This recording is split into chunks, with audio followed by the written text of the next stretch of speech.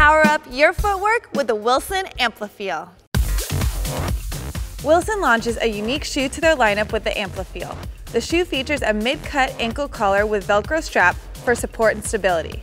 An EVA midsole and a Pro Torque chassis offers a cushioned and responsive feel. A Duralast rubber outsole and a herringbone tread pattern offers excellent traction and durability on any court surface.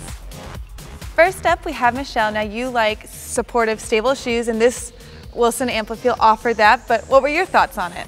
I really wanted to love this shoe, but I did not have a great play test. Um, similar to the Kaos, right off the bat, I had really bad toe jam out of this shoe, and that really prevented me from being able to test this to the complete uh, length of our play test. Um, I love supportive and stable shoes, like you said, and I did find this to be supportive and stable. However, at times I felt like I was on a ledge and falling over the shoe, so I didn't always feel confident in it. Um, the outsole tread was fine, but again, it wasn't a shoe that I wanted to put on because of that toe jam, so struggled a lot there. And overall, I think it's a cool looking shoe. I wanted to love it, just not for me. Next up we have Tiffany. Now you are a resident playtester that has a little bit of a wider width foot as well as a lower arch. How did this Amplifeel work out for you? Well, the first time I slipped it on, I was a little worried. It was a little bit difficult to get on. I don't know if it's because I just hadn't loosened the laces quite enough, but that was the only issues I had. Once my feet were in there and subsequent try-ons, it really, my feet fit in there pretty well and I had no issues width-wise. Uh, where I did have some issues with support, I was, unlike Michelle, wasn't hitting the end of the shoe, but my foot was slipping from side to side while I was playing. So I was getting some really uncomfortable rubbing, especially on the lateral side of my forefoot.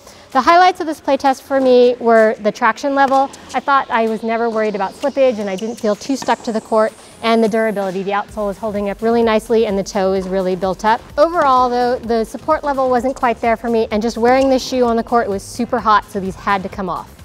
Next up we have Hannah. Now your first playtest at Tennis Warehouse, you playtested the Wilson Kaos. Now you're testing another Wilson shoe. What were your thoughts? Yeah, so these actually had a lot of similarities to the Kaos. I um, they just didn't fit my foot quite like I wanted them to. Um, other than being kind of overall stiff, I found them to be bulky and a little bit roomy in the toe box, which the Kaos were as well. Um, other than that, uh, the traction was a little bit too sticky for me. I found myself really thinking about my foot placement a lot. Uh, they were very supportive and stable, which was good because although I had those comfort issues, I was able to move freely in them, which was nice. And the padding around the ankle was a nice transition up into the ankle brace, which was nice. And for those of us that tend to roll our ankles while we play, it is nice too to not have to worry about that as much. Um, but overall, the durability was a plus. The six month guarantee is really nice, um, just not the shoe for me. I was also on this playtest and going into it I had am recovering from a major ankle injury so I was excited to see the shoe offered a higher cut, more of a mid cut and had offered more support and stability around my ankle. When I was trying to put this shoe on, I was wearing an ankle brace at the start of the playtest, and I had a really tough time getting both my foot and ankle brace into the shoe, and so I would not recommend this to players who are wearing ankle braces. Once I did get the uh, shoe on my foot, I noticed um, that I didn't really have much of a break-in, but I had to get used to more of the feel of the shoe. It's a little bit heavier than I am used to. Two of the um, highlights for me for the shoe is similar to Tiffany. I love the uh, traction as well as the durability. And my one negative would be uh, similar to what they said, the forefoot.